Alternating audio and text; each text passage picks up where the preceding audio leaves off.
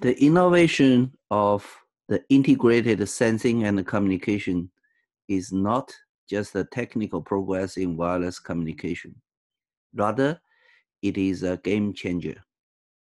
The vision of integrated sensing and communication is to enable the emerging intelligent world where everything is sensed, everything is connected, and everything is intelligent.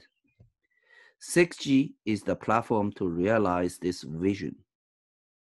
Furthermore, 6G is not only a connectivity fabric to bridge the physical world and the cyber world. Rather, it is the neural system to, that drives the physical world and the cyber world. And 6G will transform the digital economy into the intelligence economy. As such, AI is the transformative engine. In this sense, the integrated sensing and communication is the gateway to AI. Traditionally, sensing and communication are two different technical fields. There are recent progress to apply sensing to facilitate and to enhance the wireless communications. And the sensing is used as auxiliary function. We would like to articulate further that the sensing should be a basic capability, a basic service, and even a fundamental application to enable AI.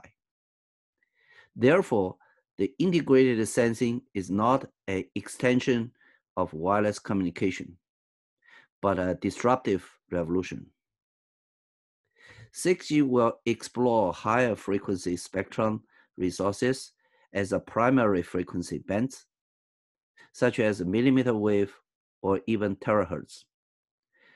Compared to the existing mobile communication networks, 6G radio wave will have more than two orders of magnitude order of improvement of the resolution of the physical world. That is to say, 6G network has the ability to see the physical world, which is one of its unique capabilities. 6G neural interface will support simultaneously wireless communication and sensing signaling, make 6G network capable of both functionalities. It is, that is to say, we will have one device, one spectrum, one network to perform both sensing and communication with one investment. The next generation wireless network will become the network of sensors. Such an unprecedented large-scale wireless sensing capability brings us a great imagination. 6G terminal themselves can efficiently complete the task of high precision positioning, imaging, and even to analyze the spectrogram of the materials. And 6G network can assist in uh, the person and things in the smart city applications. The in-vehicle 6G system can jointly with the network sensing to perform flawless autonomous driving. On the other side, all the AI application is built upon massive big data.